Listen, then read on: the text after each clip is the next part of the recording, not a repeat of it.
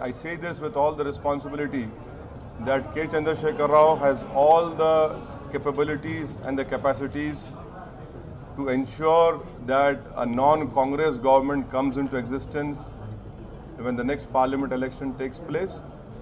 And this country requires a non-Congress and a non-BJP government. After having seen Mr. K. Chandrasekhar Rao from very close quarters, I feel that this nation deserves a leader like K. Chandrasekhar Rao. And I hope that uh, the next step which is going to take will definitely be successful because I know for a fact that a lot of uh, planning, lot of studying has been gone into it. And definitely I will stand along shoulder to shoulder with him in ensuring that in the next 2019 parliament election, there is a non-Congress and a non-BJP government. Secondly, the people of Telangana and the people of Hyderabad have rejected opportunistic, divisive and communal politics of both Congress and BJP.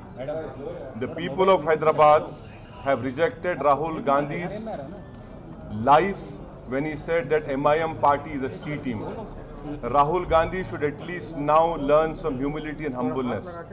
And he should stop using these kind of language.